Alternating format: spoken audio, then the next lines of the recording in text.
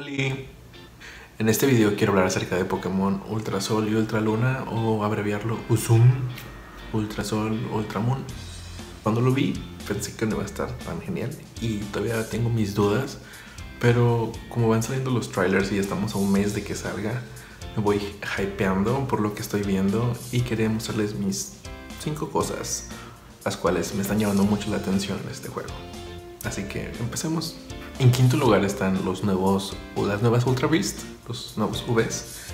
Más que nada el Burst y el Adhesive que acaban de mostrar, la verdad los diseños me gustaron mucho. El Burst me recordó mucho a Pennywise, el payaso.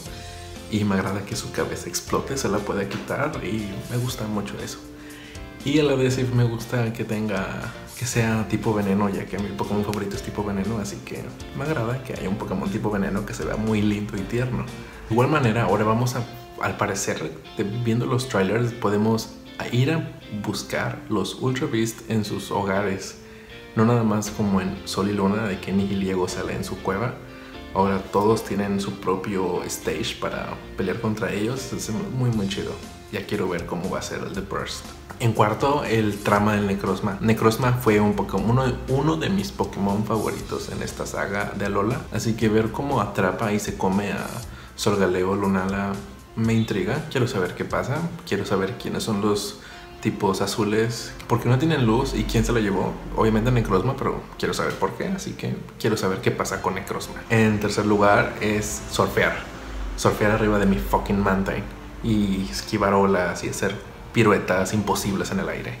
Eso, eso quiero hacerlo. Dicen que puedes viajar de isla a isla, así que es como cuando viajábamos en Latios o Latias, que fue lo mejor que puedo ver en horas para mí.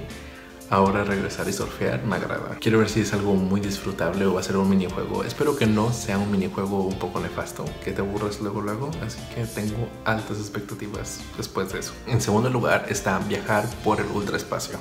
En los trailers se puede ver cómo te montas a Solgaleo o a Lunala y viajas alrededor del ultraespacio y hay otro como minijuego que vas agarrando bolitas mágicas y llegas a los hogares de las Ultra Beast. Así que es algo que espero, se me hace muy muy cósmico, viajes cósmicos, me agradan. Y en primer lugar, lo que más me gustó que sacaran más protagonismo a Mina. Oh, es que ese personaje es mi personaje favorito, creo que de toda la saga de Pokémon. Me gustó mucho. Sé que no hace casi mucho en la saga de Sol y Luna, pero me encantó. Me encantó verla, el diseño del personaje, que tenga dibujado bigotes, que sea tan artística y que pues que sea tipo a sus Pokémon. Me agrada. Y el hecho de que ahora tenga ya su trial especial y que lo puedas hacer es como música para mis oídos. La verdad me encanta ese personaje. Lo siento. Creo que sería, si todo lo demás falla, ese es mi hype número uno por el cual tengo que tener esa, esas versiones. Y esos son mis cinco puntos.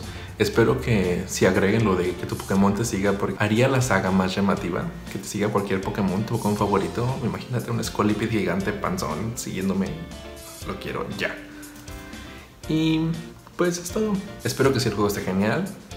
Me gustaría saber de ustedes cuál es lo que más les ha gustado hasta ahorita de lo que sabemos por los trailers. Y si es así, cuál piensan comprarse, si la Ultra Sol o la Ultra Luna.